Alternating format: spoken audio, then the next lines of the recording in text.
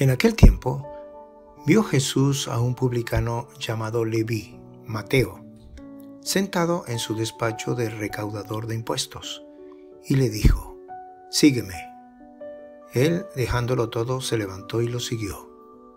Leví ofreció en su casa un gran banquete en honor de Jesús, y estaban a la mesa con ellos un gran número de publicanos y otras personas.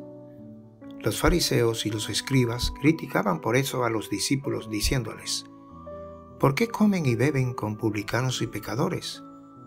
Jesús les respondió, no son los sanos los que necesitan al médico, sino los enfermos.